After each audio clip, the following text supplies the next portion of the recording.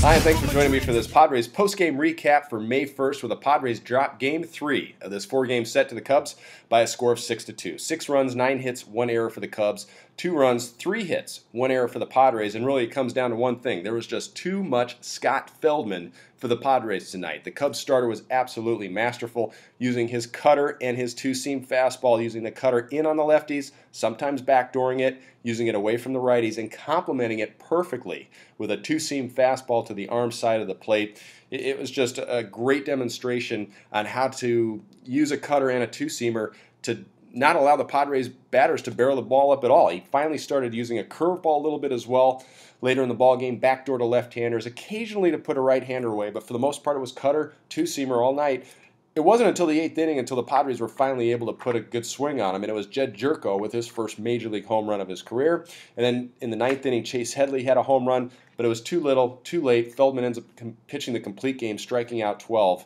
Uh, he just did a fantastic job. Padres pitching, on the other hand, not a normal outing for Andrew Cashner. We're so used to seeing him being aggressive with his fastball and going after guys, using the secondary pitches more in the starting uh, rotation, but still basically going after guys. Tonight it seemed as though he was using his curveball quite a bit, using his changeup a lot. In my opinion, maybe a little bit too much. Uh, I think Buddy may have felt the same way. He went out and had a talk with Cash in the middle of one of the innings, and you know when Buddy goes after, it's usually one of those tough love type talks of, hey, you know, you got to kick it in. Let's let's get things going here. Let's stay aggressive. Uh, the next batter that Cash faced threw him all fastballs, blew him away but it didn't seem like that stuck with him. He kind of kept going back to the off-speed pitches. Just an unusual outing for him in not being as aggressive with his fastball as we normally see. As a result, he gave up five runs tonight. It was too much for the Padres to come back from. Anthony Bass threw three innings. Robbie Erlin came in for the eighth inning, had a scoreless innings for his second outing of, of his major league career.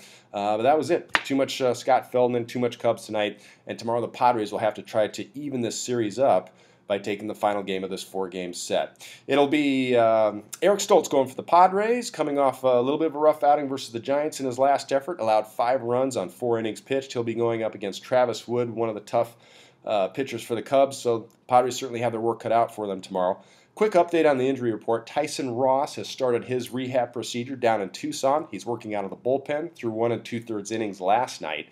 Allowed three runs, apparently threw the ball pretty well, better than the numbers would show in the box score.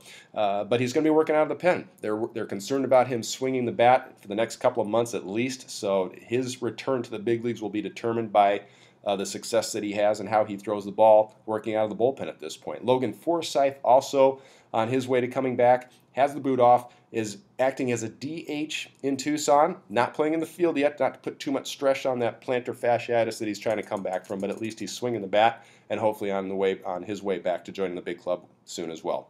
Tomorrow's ball game starts at 1:20 Chicago time. That'll be 11:20 San Diego time. Ted Leitner and myself will be bringing you the call on the Mighty 1090. We hope that you join us, and I appreciate you joining me tonight for this uh, post-game recap. I'm Bob Scanlan, and we'll talk to you tomorrow.